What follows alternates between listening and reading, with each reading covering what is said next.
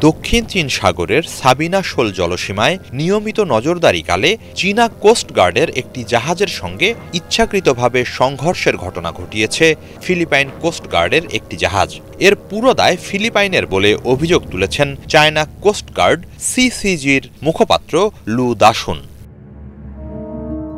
লু বলেন, শনিবার সকাল আটটার দিকে নাইন সেভেন জিরো ওয়ান নম্বরের ফিলিপাইন কোস্টগার্ডের জাহাজটি অবৈধভাবে সাবিনা শোলের জলসীমায় প্রবেশ করে উস্কানিমূলক কর্মকাণ্ড চালাচ্ছিল। সে সময় আইন অনুসারেই সেটিকে সাবধান করে চীনা কোস্টগার্ডের ফাইভ টু জিরো ফাইভ জাহাজটি। তাদের রেডিও বার্তায় সতর্কতা জানানো হয়। একই সাথে সেটিকে অনুসরণ করে নজরদারি চলতে থাকে।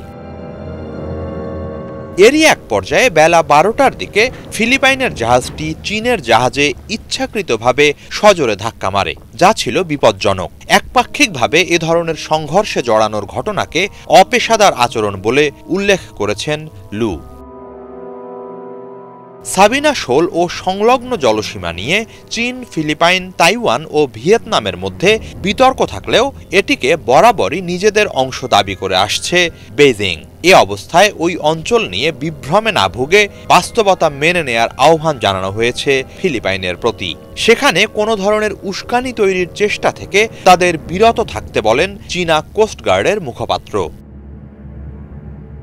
অবিলম্বে ওই অঞ্চল থেকে ফিলিপাইনকে নিজেদের কোস্টগার্ড প্রত্যাহারের আহ্বান জানিয়ে মুখপাত্র বলেন, ফিলিপাইনের উচিত হবে না পরিস্থিতির গুরুত্বকে উপেক্ষা করা বা উত্তেজনা বাড়ানো। সেক্ষেত্রে এর পাল্টা প্রতিক্রিয়ার সব দায়ভার এককভাবে ফিলিপাইনকেই বহন করতে হবে বলে হুঁশিয়ারি দিয়েছে চীন। হিজল জোবায়ের বাংলা ভিশন